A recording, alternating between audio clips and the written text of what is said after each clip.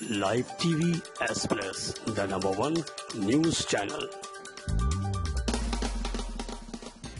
इस कोरोना महामारी में भले ही पूरा विश्व जूझ रहा है लेकिन लॉकडाउन के बीच गोंडा ज़िले में स्वयं सहायता समूह की महिलाओं ने अपना हुनर दिखाया और कुछ ऐसा कर दिखाया है जिससे प्रभावित होकर देश के प्रधानमंत्री नरेंद्र मोदी को इन महिलाओं से 26 जून यानी कल वीडियो कॉन्फ्रेंसिंग के ज़रिए सीधे संवाद स्थापित करेंगी गोंडा ज़िले के हल्धर मऊ विकास खंड की ग्राम पंचायत कमालपुर की रहने वाली 10 सदस्यीय धनगर स्वयं सहायता समूह टीम ने लॉकडाउन के दौरान लगभग डेढ़ लाख पौधों की एक ऐसी नर्सरी तैयार कर डाली और इन पौधों को 40 लाख रूपए में बिक्री कर एक कीर्तिमान स्थापित कर दिया।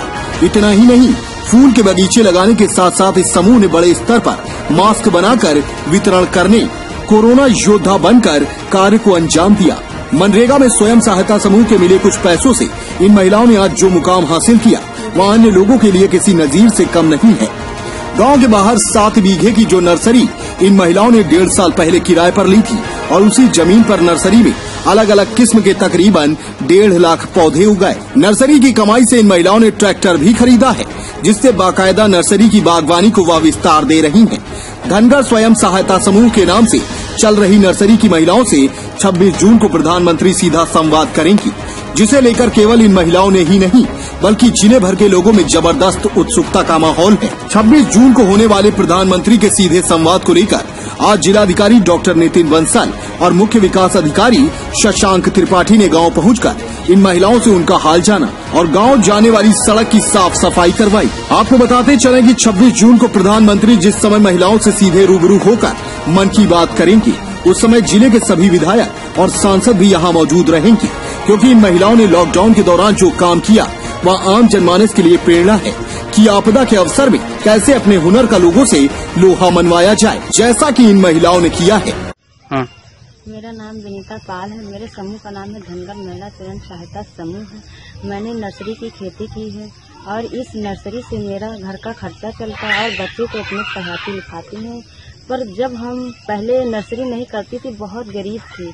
अब जब से मैं नर्सरी में काम करने लगी, बहुत अमीर हो गई, पर सोचती हूँ कि और अमीर हो जाए, अपने बच्चे को पढ़ा लिखा के कोई भविष्य बताएँ, जो मेरे बच्चे भी आगे चलना सीखें। आप सबका यही निवेदन है कि, सर, मुझे और ऊँचा कोई काम बता दीजिए मैं करना चाहती हूँ। प्रधानमंत्री जी या मुख्यमंत्री जी आपसे बात करेंगे कैसा लग रहा है? मैं मैं प्रधानमंत्री से बात करना मुझे बहुत आनंद लगता है। आप सबसे ये उपकार तो हुआ कि मैं प्रधानमंत्री से बात तो करूँगी।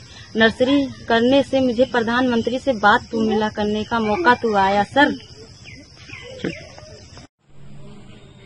बहुत ही हर्ष का विषय है कि हमारे जनपद गोंडा के हल्दरमऊ ब्लॉक के कमालपुर गाँव में एक स्वयं सहायता समूह है, धनगर स्वयं सहायता समूह, जिससे माननीय प्रधानमंत्री जी कल सीधे सीधे बात करेंगे वीडियो कॉन्फ्रेंसिंग के माध्यम से।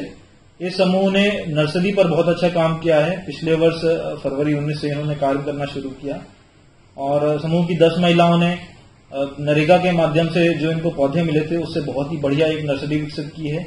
आज की डेट में इनके पास करीब एक लाख चालीस हज़ार पौधे तैयार हैं, जिसको कि हम लोग वृक्षारोपण के लक्ष्य में लेते हुए नरेगा के माध्यम से इनकी खरीद करेंगे और इससे इन महिलाओं को आत्मनिर्भर बनने में और सहायता मिलेगी। इन महिलाओं के द्वारा बहुत अच्छे अच्छे कार्य किए गए हैं, जैसे कि सिलाई का कार्य इन्होंने बहुत अच्छा किया है। लॉकडाउन के दौरान इन्होंने करीब एक हज़ार मास्क सिले और अपने गाँव में और आसपास की जगहों पर वितरित किए और बेचे।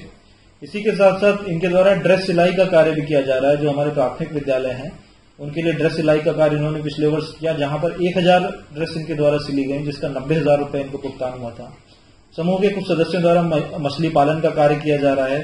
समूह ने फार्म मशीनरी बैंक लिया हुआ है, जिसका इन्होंने लोन पूरा चुकता कर दिया है और साथ ही साथ इन्होंने ट्रैक्टर, रोटावेटर लेवलर आदि की व्यवस्था करके स्वयं भी इसका प्रयोग करते हैं और अन्य लोगों को भी किराए पर देते हैं, जिससे इनकी करीब बीस हज़ार रुपये की समूह की प्रतिमाह की कमाई होती है।